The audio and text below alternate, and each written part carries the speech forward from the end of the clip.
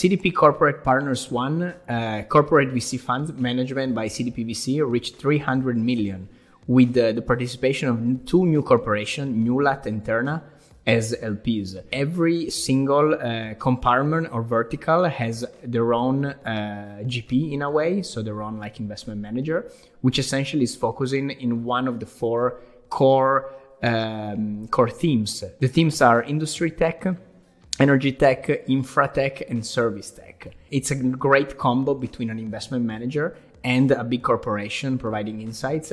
That's probably has all the very good, um, you know, assumption to be a very powerful and technical fund. It, it sounds to me as a hybrid model because mm-hmm. CDP is managing the fund, managing the capital. The corporates are involved somehow in the decision process, advisory board, yep. you know, investment committee, or whatever.